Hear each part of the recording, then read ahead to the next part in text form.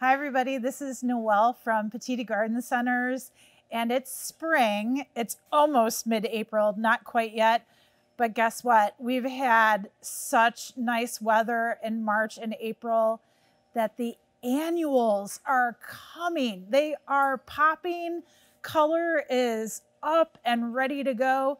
So we're going to show you a few things at Casa Verde today. We love being here and um, you'll see all the color that is coming your way soon. Now, let me just preface this by saying it's still mid-April. We don't tend to start planting our annuals until mid-May, okay? So just be aware, still got to be real careful about the temperatures out there for a lot of the annual crops. Some do a little bit better in cooler weather than others, but just be aware, it's not quite time to plant, good time to prep soil and your soil beds and your containers, get them ready to be planted. Okay, so we wanted to show you the lantana. We have a sea of lantana here. Um, you're looking at Landmark Lantana, the citrus blend. And then next to it is the beautiful kind of mixed rose Landmark. Um, it has a little bit of that primrose yellow in it. I love it. And then beyond that is actually the yellow landmark lantana. And then this one's a real cool one. This is called Bloomify Rose. And Bloomify is kind of neat because it actually never goes into seed and fruit production. It just keeps on blooming, blooming, blooming, blooming, which is really, really nice. It's a nice breeding trait of that plant. But these guys, of course, are full sun, hot areas, awesome for all the pollinators. So if you want to bring on the pollinators, lantana we love. Oh, and I forgot my favorite part is pretty good as far as deer resistance is concerned too. So in the ground, in containers, in hanging baskets, awesome. I want you to look up as well because they're on the move. They're moving through the conveyor belts right now, but all of the fuchsia are looking divine right now. And so uh, the fuchsia, all different colors, beautiful. Of course, the sun's just coming in through the greenhouse, so it's blinding Taylor.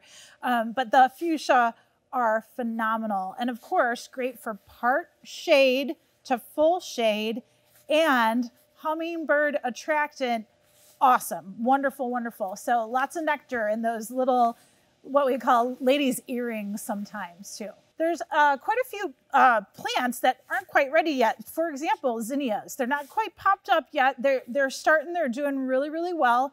And we tend to plant them a little bit later just because they're really easy to, to pop and grow, germinate and grow. Um, so they'll be coming, but they're not on this first shipment, you know, filling up the stores here. But we'll have more. And then we are headed towards some of the tropical plants as well. Torenia looks good. Bacopa looks good, ready to go. Nemesia, awesome. Brachycome daisy, I love that little guy. It's great little filler. Bidens too. Great little pollinator plant. Cannas, cannas, and more cannas. These are canna lilies, and of course, the cannas are a big tuber, if you will, a bulb, and they are what we call a tender bulb. And so you can plant them even at your house. You can plant them usually end of March, beginning of April, pot them up in some potting soil, get them a little bit of a head start. They do like to be under lights. And then um, they start to fill out really well. And of course, you've got all different colors you could choose from. Uh, it looks like mango, orange, yellow, and then also that scarlet red. So those are all really pretty. These are part of the Cannova series. So nice compact, kind of a, a dwarf canna lily, but awesome for sunny spots, kind of moist spots as well too. The cannas can tolerate a little bit more soil moisture. Um, great for the hummingbirds as well. Oh boy, Taylor. We didn't have this last year, but we have some beautiful flowering tropical plants. Um, they weren't out in this greenhouse last year when we were doing a preview, and they brought them out here because they're getting a lot, a lot of sun. It, they're just gorgeous. So look at this doubled hibiscus, double petaled hibiscus, and I have all different colors of mandevilla and dipladenia behind me, red, white, pink. Oh my gosh, so many different ones. All of these tropical plants are going to be great for those full sun areas, really bright patios and decks. Yeah. So check this out, passion flower vine. Now, there are some, um, if you will, perennial types that will grow in Northeast Ohio. This is going to be a tropical type, okay? And the reason you can tell is the flower is so huge and, and just gorgeous. Um, but if you see these, and Taylor said, no way, we've got some. So Taylor probably gets you a close up here on this beautiful flower. And they kind of have a, a tri-lobed leaf to them, really good growers. The passion flower vines do like full sun, but they can grow very well in part shade, but they're so exotic. They're just such a cool plant. Lots and lots of buds. All these are budded up, but they're not quite blooming just yet. Hey everybody, we found the bougainvillea hiding in the back of the greenhouse. Obviously there's there's a lot of them back here. Um, and these bougainvillea, they're they're all trained on trellises. You're gonna see, you know, a pretty thick um, stem, you know, to start out with, almost a trunk and then they're kind of trained up to grow on the trellis. These are vines in their indigenous habitat. They really are a quite woody vine, but we also grow them in hanging baskets because those vining branches can, you know, trail over the side and look really pretty. Um, these guys are just budded up and full, full blooms. I'm going to tell you again, full sun. Um, but they actually like a little bit cooler. So if you have a sunny spot in the morning that you want to put the bougainvillea out, they can tolerate a little bit cooler temperatures um, in the evening and they do fine. But they, they do very, very well in, in Northeast Ohio in the summer. So these guys are great. And then, um, you know, just don't forget to water them and don't forget to fertilize them because they like to be fed a lot we found the SunPatiens. So these are your big flowering New Guinea impatiens, but you can grow them in the full sun, or you could grow them in the full shade, or you could put it in part shade too. So really any light aspect, you have all the colors of SunPatiens to choose from. And there's even that little yellow and green variegated leaf. So that one's really cool as well. It has a bright pink flower to it. And then I wanted to show you over to my right, um, the new, we've got this yellow petunia and it's called Bee's Knees. And it is a non-fading, almost like bicolor yellow. Check this out. And it's not ready to go out just yet, but it'll be, I mean, it'll be ready in just a few more days to go. And then um, right next to it is Sanguna Blue. And look at that. It's like a deep um, kind of violet purple, and it has a beautiful kind of whitish eye to it. Really pretty. It's almost like a silvery white. And of course, we always like our white euphorbia to go with anything. That one's actually Diamond Mountain, so that's the, the big fluffy one. We switched gears a little bit. We came out to the perennial growing area, and perennial growing is a little bit different than annual growing up in a controlled greenhouse. So these greenhouses are just poly houses really no heat out here. We do have irrigation, um, but this gives you an idea of where we grow our cooler annuals. And so petunias definitely being one of them. This is a really pretty combo with a bicolor petunia. There's also a little white calibrachoa in here. And then there's some verbena that hasn't quite popped open yet.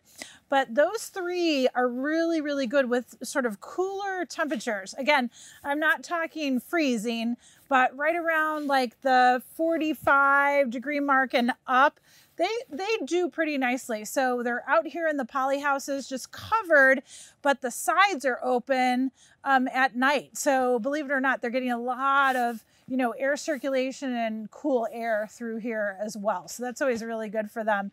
And then you can kind of see above me, we do have a lot of hanging baskets. My goodness, it, we grow thousands and thousands of hanging baskets. So they're all kind of in different cycles. They've been planted at different times. So they, they you know, mature and come out um, throughout the season. Um, this cycle looks like eh, maybe uh, late April cycle um, that'll come out and be shipped to the stores because I'm going to tell you there's a lot, there's a lot of carts on the dock right now that are full big hanging baskets ready to go. We're in wave, up, wave, and Supertunia land. So uh, this is a greenhouse dedicated to majority of petunias. I'm looking above. There's a little bit of mixed combos going on, but petunias, petunias, petunias all through here. As I mentioned before, petunias are a little bit more um, cool tolerant. Cool, not cold, but cool tolerant. So again, they're very happy in this greenhouse. No heat, sides rolled up, and just enjoying the breeze right now. And um, you can see all the different colors of super petunias. There have already been flats pulled, so those are those are going out to the stores, of course. And uh, yeah, just look all the way through, all different. So this is Mini Vista Pink Star. And you can tell, I was gonna pull up like a normal size. Hold on, I'll, I'll grab it. This is a wave petunia, but you can kind of see difference in flower size. This is more like a um, Super Bells or a Calibrachoa uh, type flower size. However, whenever you see Vista on the tag, a PW Vista, they are a uh, like a landscape petunia. They get really um, spready and wonderful and you know really fill in areas. So when you're planting these, they're fantastic but make sure you give them some space. And if you're planting a container or planting a hanging basket or something of that nature, Again, give them some space and don't be surprised if they really take over because they really like to grow. I wanted to show you a new Super Bells or Calibrachoa, and this is called Coral Sun. And as Taylor does the close up on it, it has got the prettiest coloring. It's like tequila sunset you know it has the yellow in the throat and then it it has like a ring of orange and more pink um, as you go out towards the ends of the petals. But boy, talk about a hummingbird attractant, you know, just zeroing in right into that trumpet shaped flower. So cool. We're in a new greenhouse at Casa Verde and we were surprised. We didn't know what we were growing in here, but obviously lots of combo planters. Um, as you look down, as, as Taylor pans down, you're going to see a lot of that yellow. That yellow color is Bidens, and man, they've been loving this weather. So you see a lot of yellow combined with some of the purple petunias and so forth. So they're they're looking quite happy. And then I'm going to have Taylor pan the other way. We have got Dracaenas upon Dracaenas. So Dracaena are also known as a dragon tree houseplant, but they're also known as spikes. So you see a lot of the Dracaenas um, sticking up through the, the combination pots, but also plenty of them um, to make your own combinations. So those are going to be out there too. And we also have the little papyrus too, Taylor. Did you see it? So papyrus in the combos, that's usually what? Little tut? Prince tut. Good job. So yeah, lots, lots is blooming and is going to be coming your way really, really soon. Enjoy.